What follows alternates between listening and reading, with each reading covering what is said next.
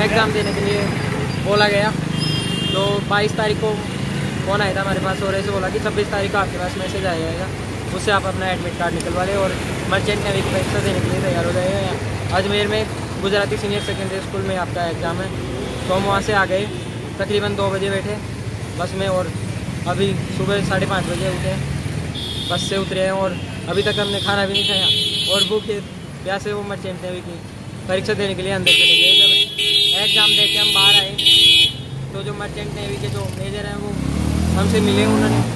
उन्होंने बोला कि ये जो सब है वह सब फर्जी है। और इतना कहते ही जो यहाँ के स्कूल के जो कर्मचारी थे वे यहाँ से निकल लिए। जो गुड़गांव के थे पता नहीं कहाँ के कहाँ के थे। पुलिस पुलिस भी आई आपको परेशान कर रही हाँ, हाँ सर पुलिस भी आई हमें परेशान करने के लिए। उन्होंने हमें हद हटाए यहाँ से जो स्टूडेंट जो एक साथ खड़े हुए थे।